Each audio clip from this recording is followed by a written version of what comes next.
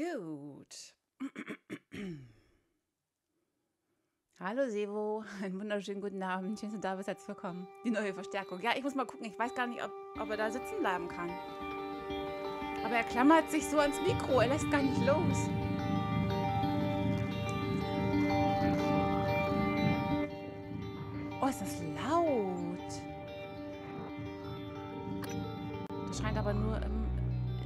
Vormenü so laut zu sein. Wir haben noch eigentlich die Lautstärke eingestellt. Das war jetzt eben ein bisschen unangenehm. Ein bisschen sehr unangenehm gerade. Aber ich glaube, ich glaube, Dogmeat muss gleich umziehen. Ich sehe nichts. Für Just Chatting ist das prima. Und der ist auch mega süß. Du bist so süß. So auf meiner Schulter sitzen, das geht auch nicht, ne? Wir sind im Maschinenlabor. Okay. Ich kann ihn mir auf, die, auf, die, auf das T-Shirt nähen und dann wie so ein, äh, wie ein Pirat ähm, halt äh, mit, mit, seinem Papagei laufe ich als Wastelander mit meinem Dogmeat durch die Gegend. Ich setze ihn mal hier vorne hin. So, der guckt mich jetzt an und wenn ich was falsch mache, oh Gott, der schaut, schaut richtig anklagend. Ich gucke nicht hin. Ich gucke nicht hin, er guckt richtig anklagend gerade. Oh. Schock, einen wunderschönen guten Abend. Schön, dass du da bist. Herzlich willkommen. Und Uranus, auch dir einen wunderschönen guten Abend. Schön, dass du da bist. Herzlich willkommen. Als Halskette. Ja, genau. Was würdest du daraus machen? Hm, vielleicht ein Hut oder eine Brosche oder eine Flugeidechse? Kennt das irgendjemand? Wahrscheinlich nicht, ne? Ist aus einer Komödie aus den, aus den, Gott, weiß ich gar nicht, aus den 90ern oder aus den 80ern schon? Oh Gott. Ich weiß es nicht. So, wir betreten ziemlich lange das Maschinenlabor, habe ich das Gefühl. Ich bin gespannt. Als Hut setze ich ihn aber nicht auf. Dann wäre der Name, diese, diese Dinger, diese kleinen halben Hütchen, die heißen ja Fascinator. Dann, das wäre ja dann begründet, wenn ich so einen Hund als Fascinator auf hätte. Gibt es bestimmt auch. Kann man bestimmt in Großbritannien irgendwo sehen, wo man mit sowas rumrennt. Beliebige Taste. So. Oh ja, Dr. Calvinus Werkstatt. Ich entsinne mich, aber auch nur so halb. Wir hatten alles soweit vorbereitet, ja? Fertig gemacht? Ich gucke mal jetzt eben noch mal zu meinen Zielen. Was sind meine Ziele im Leben? Den Schlüssel der Leiche finden, okay. Nimm den Quartierschlüssel von Bellamy's Leiche an. Habe ich das nicht gemacht? Wo ist er denn? In der Psychotronik. Da waren wir, glaube ich, noch nicht, ne? Nee, okay. Dann ist alles prima. Alles super. Okay, ich muss mal eben ganz kurz gucken, wie das mit der Steuerung war. Das war nicht die Steuerung. Okay, ich glaube, die Waffe ist schon mal ganz gut. Die ist auch nachgeladen. Oh, und wir haben Geschütz dabei. Willkommen. Vielleicht kann ich Ihnen helfen. Das glaube ich nicht. Ähm, deine beiden Abstürze von der Brücke vom letzten Dienstag gibt es übrigens als Clip. Habe ich schon gesehen, Sevo. Ich konnte da bloß nichts drunter machen. Vielleicht kann ich das nachher. Manchmal habe ich das Gefühl, auf Discord dauert das ein bisschen, bis man das mit einem Emote äh, kommentieren kann.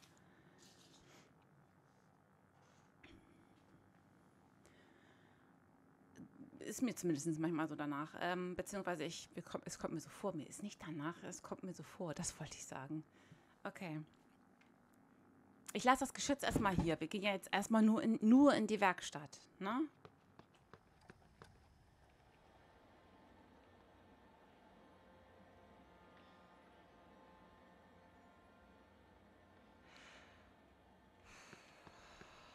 Okay.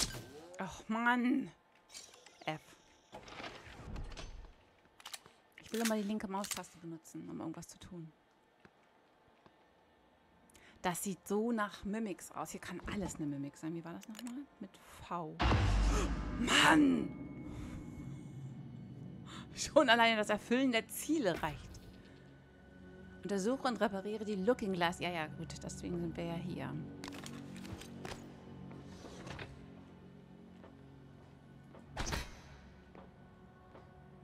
schon mal keine Mimik. Wie kommen wir denn da rein? Das ist, ein, was ist das, ein Haikäfig oder sowas? Das müssen wir, glaube ich, runterlassen. Kann das sein? Ich glaube, das müssen wir runterlassen. Wir könnten... Ach, Quatsch, müssen wir gar nicht. Mann, F. Wir können einfach alles rausnehmen.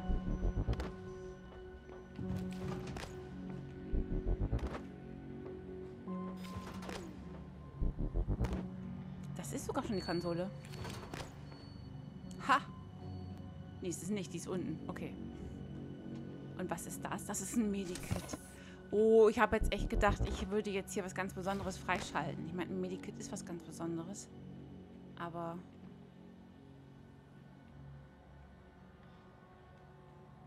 Ich nehme doch, glaube ich, lieber... Wo war die? Auf der 2. Ich nehme lieber die Pistole. Warte mal, wie schleiche ich nochmal? Mit C. Okay, gut. Oh, jetzt geht das mit dem Quote schon wieder nicht, ne? Ich muss sie sonst gleich mal eben wieder rausnehmen, sonst kommt alle Nase lang, versucht Stream Elements ein Quote äh, abzulassen. Das habe ich immer noch nicht repariert. Erfolgreich die Tür erschossen, ja. Das ist bestimmt Member Only. Das darfst du dann als Server-Eigentümer nicht kommentieren.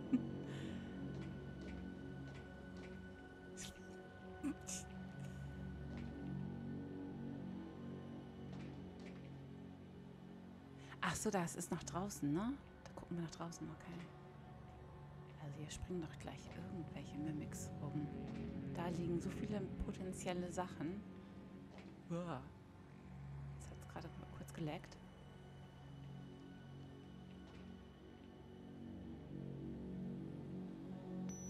Hä? Ach so, oh, ich wollte gerade sagen, komme ich hier nicht runter?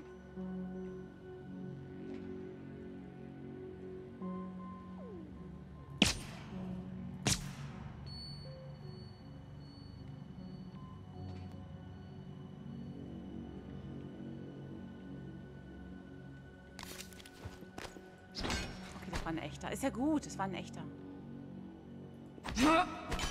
Auch alles echt, okay. Alles echt, okay.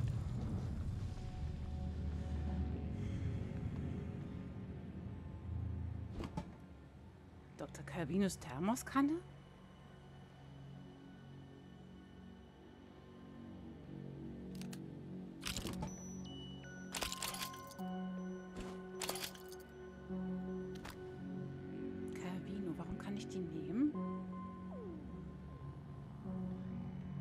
Schmeißen?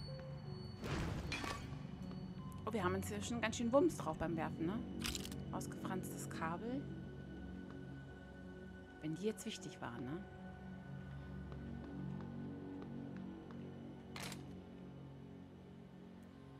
Oh, ich hab irgendwie... Ich muss erstmal wieder reinkommen.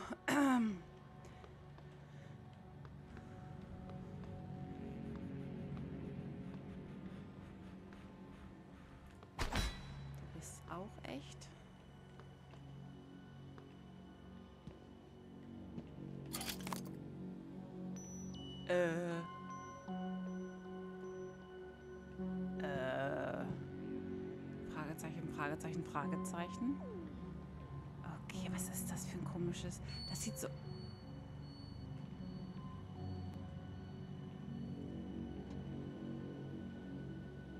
Da müssen wir bestimmt noch hinwetten. Und diesmal, wir erfahren jetzt schon, dass da irgendwas ist und da müssen wir garantiert hin. Aber das sieht zum Beispiel aus wie etwas, was wir ähm, erledigen könnten. Behaupte ich jetzt einfach mal so. Ähm, nicht so wie dieses andere Teil, was die Luke das letzte Mal so blockiert hat. Whiteboard, Looking Glass. Achso, das waren die St Status von den einzelnen Whiteboards. Okay, du bist auch echt.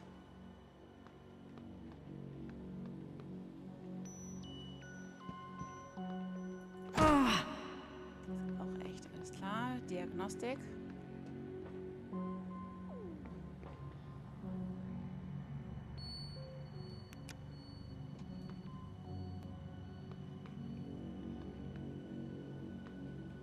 Interessant, oder? Ich meine, wer beobachtet denn jetzt hier noch wen? Oder ist es automatisiert? Kann natürlich auch sein. Okay, die Technik der Regelkreise. Oh, was lesen, Gott sei Dank. Auszug aus dem Nachwort zu Die Technik der Regelkreise von Sven Schert. An dieser Stelle greift eine Metapher. Normalerweise besteht das Ziel der Regelungstheorie darin, die Ausgabe eines Systems zu kontrollieren und mit der gewünschten Ausgabe, dem Referenzsignal, zu vergleichen. Die Differenz zwischen dem tatsächlichen und dem gewünschten Signal, die Regeldifferenz, wird als Rückkopplung an den Eingang des Systems gegeben, um die Ausgabe näher an die Referenz zu bringen. Gute Regelkreise und gute Ingenieure lernen also aus der Vergangenheit. Ich habe kein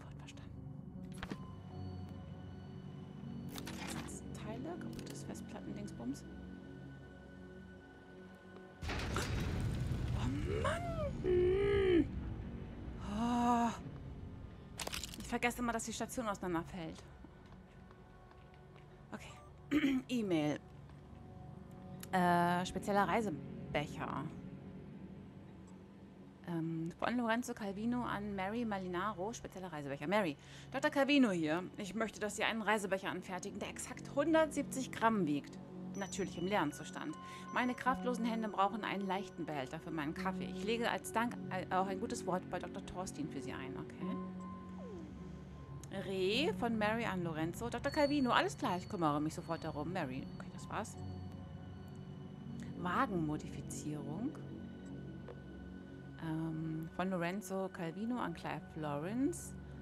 Clive, Dr. Calvino hier. Modifizieren Sie eine der Wagen bitte so, dass sie bei 170 Gramm ein An-Aus-Signal sendet. Sagen Sie bitte Bescheid, wenn Sie fertig sind.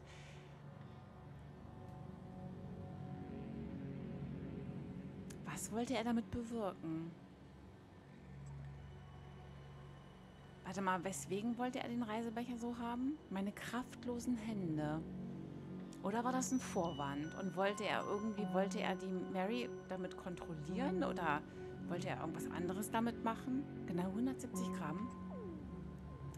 Technische Daten Looking Glass von Jorgen Thorstein an Lorenzo Calvino. Lorenzo, ich habe einen Blick auf die Daten geworfen, die du mir geschickt hast. Ich sehe da ein paar Probleme. Mir war nicht bewusst, dass du die Rechenleistung und Speicherkapazität so stark runtergeschraubt hast. Was, wenn jemand dem Hauptserver mit der Rohrzange kommt? Was? Wer sollte denn den Hauptserver mit der Rohrzange schlagen? Und wenn, dann war es ein Versehen. Schmiert dann das ganze System ab? Wie auch immer, komm vorbei, sobald du Zeit hast. Dann besprechen wir die Einzelheiten. Ich hätte ein paar Vorschläge, falls du dafür empfänglich bist. Jorgen. Die Thermoskanne als Schalter. Aber das ist doch ein Becher, ein Reisebecher. Oder ist das eine falsche Übersetzung? Äh. Das macht Sinn. Ja, um irgendetwas, genau. Um exakt nur das da drauf packen zu können. Jetzt muss ich das Ding gleich wieder suchen. Ne? Ich habe das durch das ganze Labor hier gepfeffert. Okay.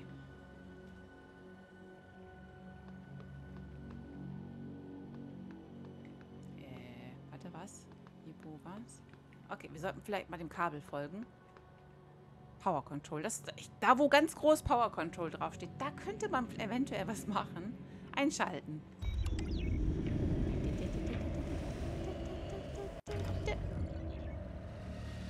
Keine Verbindung. Ja, so schlau bin ich auch schon, dass ich keine Verbindung habe. Und jetzt, ah.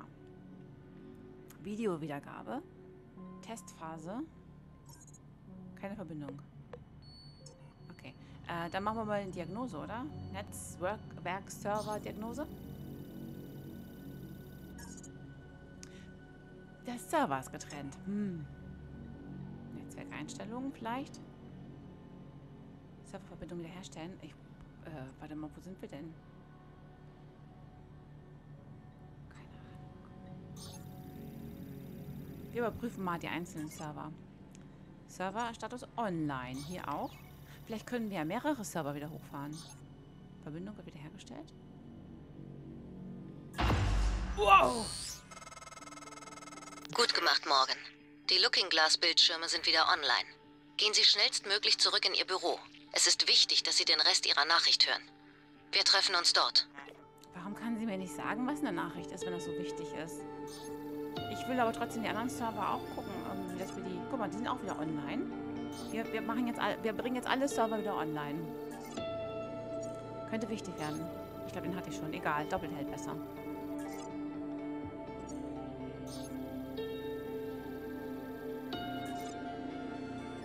So, jetzt haben wir alle. Bildschirmdiagnose. Wir machen jetzt alles. Alle Bildschirme betriebsbereit. Sehr schön. Und was war mit der Videowiedergabe? Test. Und äh, läuft es? Lichtfelderfassung scheint etwas heiß.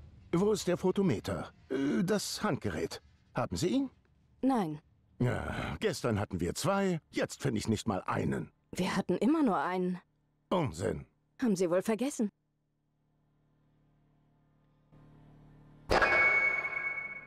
Okay, ich glaube, ich muss noch mal die, ähm, die Lautstärke der Sprachen.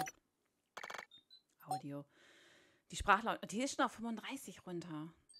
Ich mache die trotzdem noch mal auf 30. Oh, mal auf, guck mal, machen wir so. 25, 30, 35, prima. So, und was ist das andere?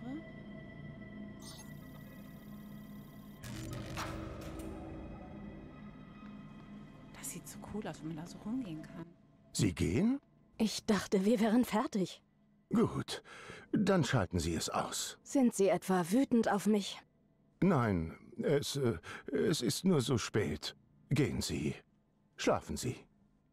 Und Sie? Und ich? Ist schon in Ordnung. Ich mach das fertig. Okay, ich schätze, wir sehen uns später. Schätzen Sie. Was? Sie sagen immer, schätze ich. Das klappt, schätze ich. Bis später, schätze ich. Sie sind Wissenschaftlerin. Schätzen Sie nicht, wissen Sie. Oder schweigen Sie. Das ist alles. Gute Nacht, Dr. Calvino. Kerampiscatolle. Okay, kann jemand Italienisch?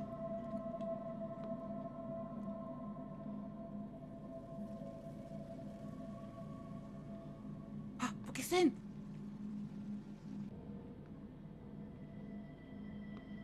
Warte mal, sind hier noch...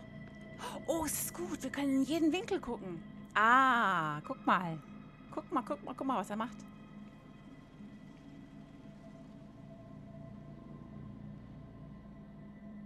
Trinkt er jetzt genau so viel ab? Das ist verschlossen gewesen, das Ding. Oh. Ho, ho, ho, ho. Okay.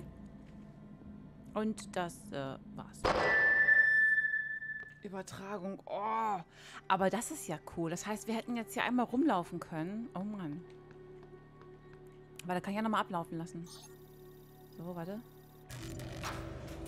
Diagnose. Und äh, läuft es? Lichtfelderfassung scheint etwas heiß. Wo ist der Photometer? Äh, das Handgerät. Haben Sie ihn? Nein, Ja, gestern hatten wir zwei, jetzt finde ich nicht mal einen. Wir hatten immer nur einen. Unsinn. Haben Sie wohl vergessen? Da ist er.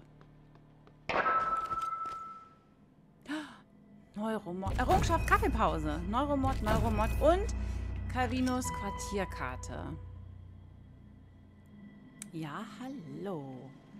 Schön, schön, schön. Oh, das sind so äh, solche kleinen Nicklichkeiten, die eingebaut sind. Ne? Welch freundlicher Mensch, ja. Non una sola parola. Was heißt denn das? Ich kenne nur Arturo. La la la la la la la Also er hat, hat bestimmt was sehr Unfreundliches gesagt. Sagen wir es mal so, ne? Er wird nichts Nettes gesagt haben.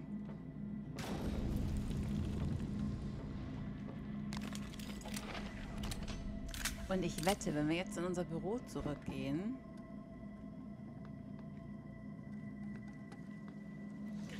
keinen freundlichen Empfang. Aber ich glaube, hier haben wir alles, ne? Wir haben ich jetzt, wir waren auf unserem Spaziergang draußen. Hier waren wir drin, haben alles mitgenommen. Die Phantomen haben wir auch alle, auch wenn die vielleicht optional gewesen sind. Oh, warte, wir hatten irgendwo jemanden. War das oben zum Heilen, ne? Oben, wir brauchen. Hallo, hatten- kommen Sie wegen eines Termins? Ja, genau. Warte, ich hätte gern einen Termin bei dir. Hui. Operator. Diagnostiziere. Sie hatten wohl einen harten Tag. Bitte halten Sie still. Es dauert nur einen Moment. So gut wie neu. Sie können einen Service-Fragebogen an Mm, Empfang Ja, mache ich. Mache ich dann, sobald ich wieder ein bisschen. Ja, genau. Okay, und hier war einer für unseren Schild, ne? Hier war so ein Technik-Operator. Da ist er. Der, der, der bleibt aber immer am Ort und Stelle. Inspektion läuft. Ihr Anzug ist etwas mitgenommen. Ich repariere das. Da liegen Fertig. Dankeschön. Okay. Hier haben wir auch erstmal soweit alles erledigt. Da ist noch ein Geschütz. Ich nehme auch, glaube ich, ein Geschütz auf jeden Fall mit. Ich komme. Oh, hatte ich jetzt mal keinen Platz mehr? Wahrscheinlich. Das kann gut sein, dass ich keinen Platz mehr hatte. Okay.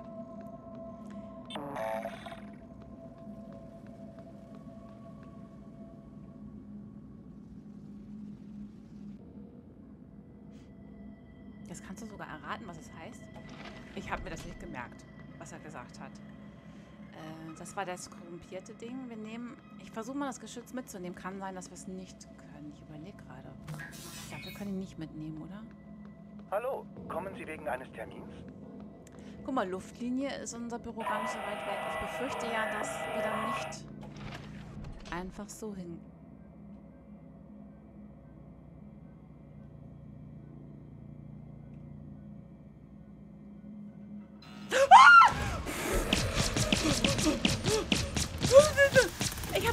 war so weit weg.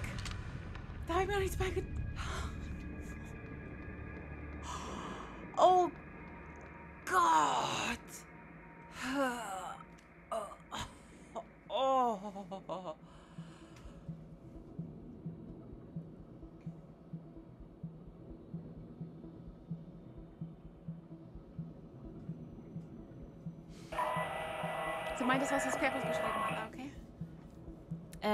non una sola parola. Ähm, nicht eine una sola.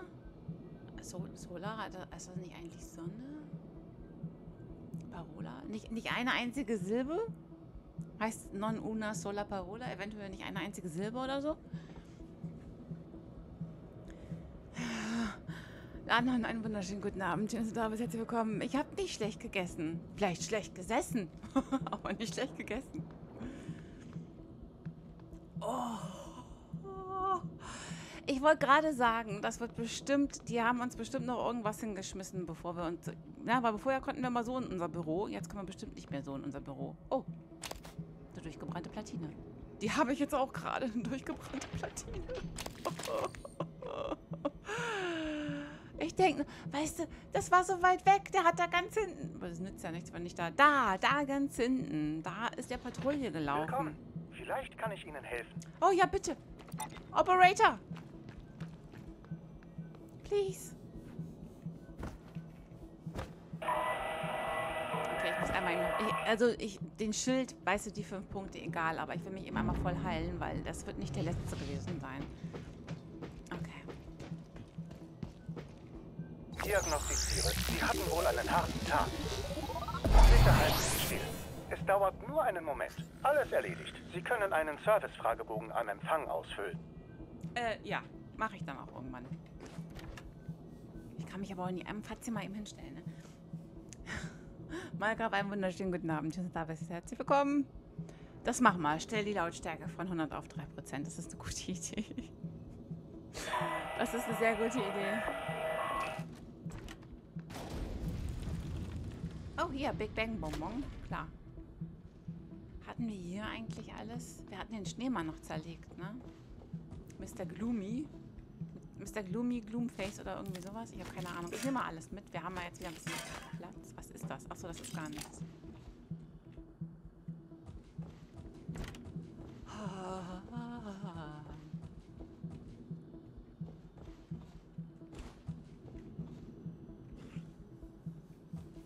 Ich nehme das Geschütz mit. Das ist wenigstens ganz.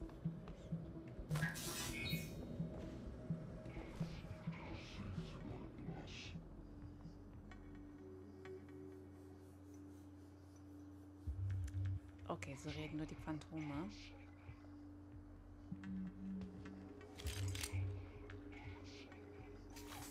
Einsatzbereit. Gut, du bist einsatzbereit. Ich, ich, ich nicht wirklich, aber ich tue es trotzdem. Der Medizin-Operator, okay. Scanne Ziel. Kein Alien-Material entdeckt.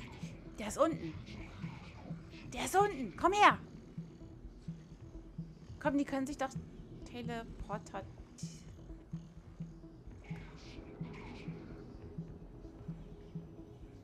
Ich habe mal Angst vor meiner eigenen Chutzpe, ne?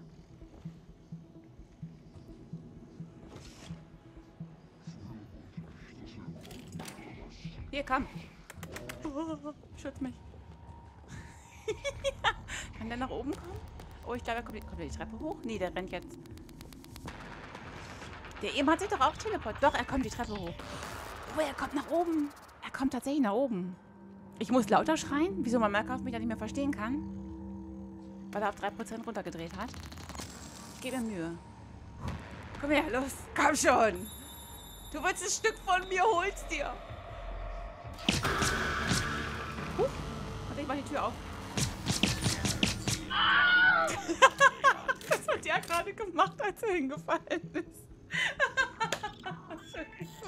das passt gerade so gut. Ah, Nachbarn klingeln schon bei mir, die fragen schon, ob ich Geisel genommen habe, so wie da geschrien wurde.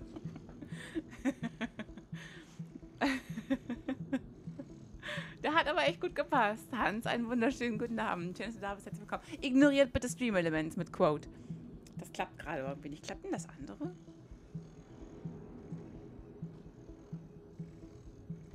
Wenn ich das selber eingebe? Ha, das klappt. Okay.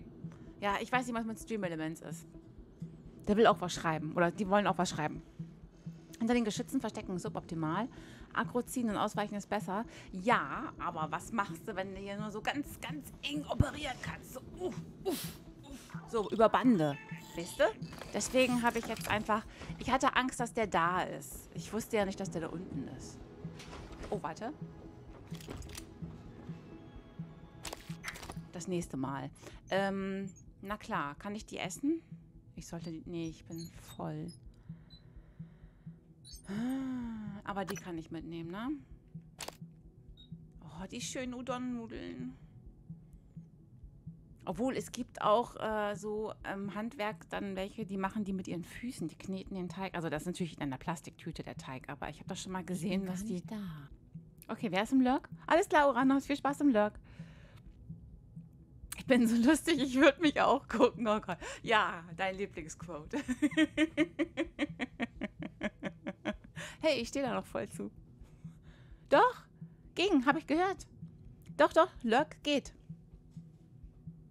Du hast es nicht gehört. Also ich hab, ich bin gar nicht da. Vielleicht muss ich ihn lauter machen. Aber eigentlich ist doch der Lurk dazu da, unauffällig zu sein. Ihr sollt ja dann diesen Command machen können, um leise zu sagen, hey, hi, aber ich bin gar nicht da. Ja, also, wir lassen den so.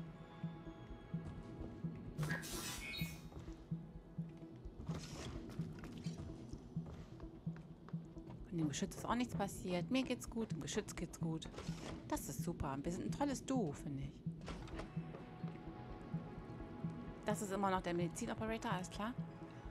Äh, ach, können wir das überhaupt mitnehmen, das Geschütz? Das, wir müssen ja jetzt durch so ein äh, Dings, dum, Dings durch.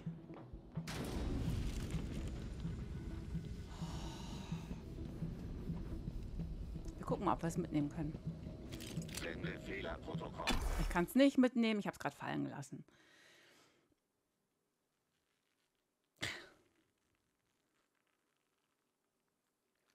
Ich muss Y drücken. Oh, ja, ja. Ach so, ja, ja. Ich sollte auch bestätigen, ne? Ich gehe morgen Hörgeräte shoppen. Ach so, ich dachte wegen meinem Schrei. Du meinst es, weil du es nicht gehört hast. Okay. Gott. ja, ich warne schon mal alle Headphone-User hier. Alle Menschen, die einen Kopfhörer aufhaben, um es mal auf Deutsch zu sagen.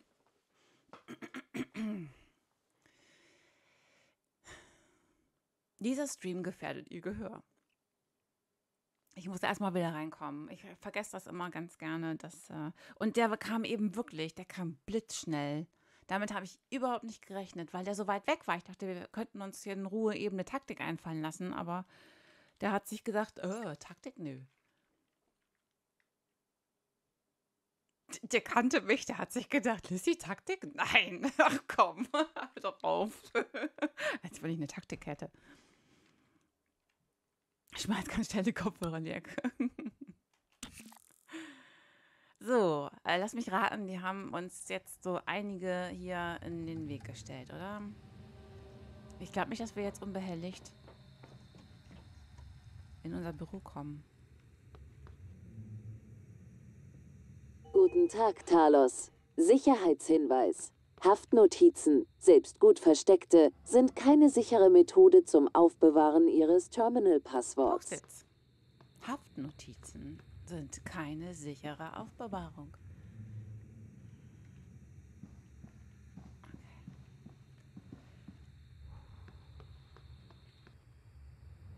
Der war vorher schon da, oder? Warum ist das geschützt defekt?